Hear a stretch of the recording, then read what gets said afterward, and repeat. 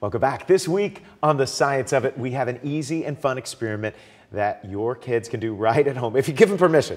first, first warning meteorologist Alex Alisi shares this week's experiment that involves balloons and water.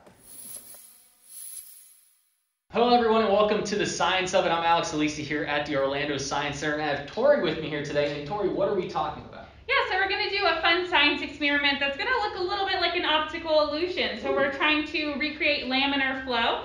So water and gas flow in two different ways. They either flow laminarly or uh, turbulently. Okay. And so laminar flow is basically it's going to flow in parallel lines. Um, and the the latter, the turbulent flow, is it's going to flow in all different directions and kind of a little bit more chaotic than the laminar flow. Okay. So we're going to do it with a very simple experiment that you can recreate at home. So you're going to take a regular balloon, not a water balloon, a regular balloon, and fill it up to the size of like a small lemon or grapefruit, um, like kind of like these sizes that we see here. Um, and then you're going to take some duct tape and we're going to make a square on top of the balloon to help it stay together. We're going to end up popping it here in okay. a minute.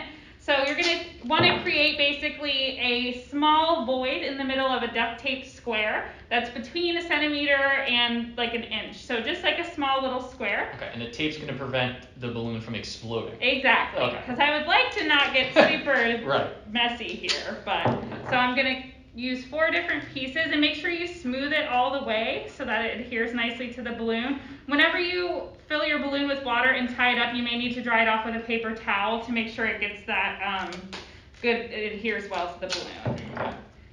All right, so I'm gonna keep adding and I'll do one more here.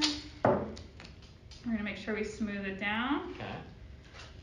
And then now we have a nice little square in the middle. I see. So you're making a square of the balloon itself. Yeah. So gotcha. we're gonna. This is gonna be the point that we will poke it at. Okay. Um, and then you're gonna use a sharp object. I have a box cutter here. Of course, you're gonna need your grown-up's help if you're gonna do this. Okay. You gotta be very careful. All right. So we have a bucket here prepared just to make sure. Okay. Um, but we're gonna see here in just a second. I'm gonna poke it, and it's going to look uh, almost like ice. So it's gonna be a nice clear flow. And we see how it doesn't even look like it's flowing because it's so straight. All of those lines are parallel in that flow. Oh, very cool. So we've just created a very simple demonstration of laminar flow with stuff that you have at home. So this is the fluid's coming out. It's not turbulent. It looks like it's. Yeah, it's it looks like it's still basically. Okay. So it's parallel right there where it's coming out. All right. Great job. Thank you for being such a good assistant. I try, I try. so any balloon will work, just not a water balloon. Just not a water balloon. I recommend fun colors like we used here today so you can really see um, you know, how it works. Cool. All right, Tori, thank you so much and thank you for joining us here on the science of it. Very cool. And if you want to see some other cool things happening at the Orlando Science Center, it is open every day except for Wednesday from 10 to 5.